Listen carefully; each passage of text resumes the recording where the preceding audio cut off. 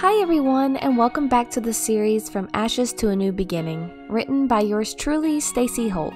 Artwork was by Pastel Kitty Gore Art on Instagram, otherwise known as Maddie Kitty 1997 on DeviantArt. I'll leave her links below. I highly recommend you go check out her artwork. I will also leave everyone that is collaborating within this chapter, which are Adrien and Cat Noir will be voiced by Shane, I will be voicing Marinette, Ladybug, and the narrator, and Anna will be voicing Chloe. If you'd like to support the channel, you can like, subscribe, and comment. Now, now, Chapter 13 Her Studio. Alright, so this is your studio. Chloe said, opening a door. Marinette stepped into a room that had barely anything inside of it. It had a built in table that was connected to the wall that had cabinets above them with a sink. There were huge windows across from them to provide natural light, which was a nice touch. Uh, where is all the furniture? Marinette asked. You have to provide that yourself. This isn't a charity event. Chloe rolled her eyes, walking away. Chloe? Marinette called out, turning around. what is it, Miss Dupain Cheng? She said, sighing.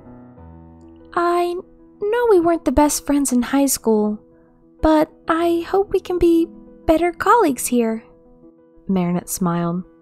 Sure, Chloe said, a little weary of Marinette's motives, and walked back into the hallway and left Marinette in her studio alone. Marinette walked into her studio, shutting the door behind her and started taking pictures on her phone.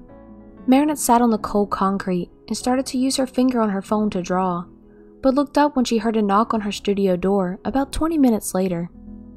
Come in, she called. Adrien walked in and smiled. So you did find your studio room? He said, looking around. What do you think of the space? It's roomy, she said politely, not sure what else to say. What are you doing sitting on the ground? He asked, confused. Uh, well, I took pictures of the room and was sketching where I was gonna put stuff once I bought stuff to put in here. She smiled awkwardly. I, I'm so sorry. I completely forgot you didn't have any money. I'll help you go shopping. Adrien apologized. No, it's alright. You've already helped enough. You helped me get this job, she said. How about this then? I'll pay for whatever you want, and you can just pay me back later. He offered.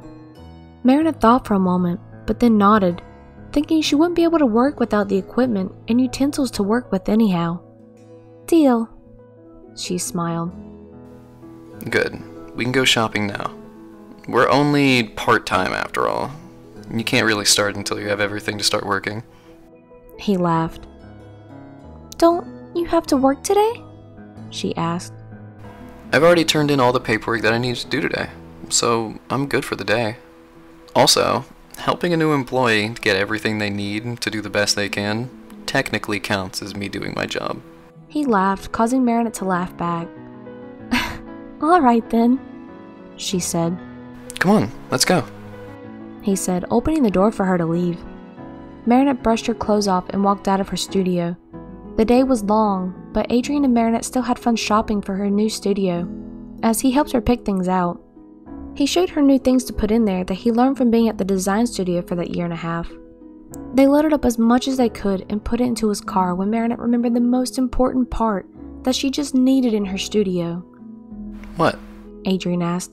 A sewing machine, Marinette sighed. I thought I would have one, but mine burned in the fire. She frowned. Don't worry, we can pick you one up tomorrow. Adrien smiled. Adrien drove home and Marinette stepped out of the car, both tired from the long day. I'm gonna go take a bath, Marinette groaned. Alright, I'm going to go eat some dinner. Adrien smiled, still fiddling in the car as he watched Marinette disappear in the house. As soon as Marinette disappeared into the house, he lifted his jacket pocket and looked down at Plagg, who rolled his eyes. Plagg, claws out. Adrien smirked.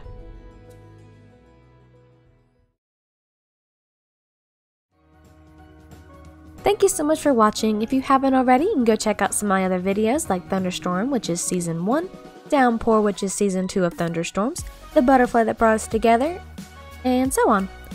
But for now, I'll see you guys in the next one. Bye, guys!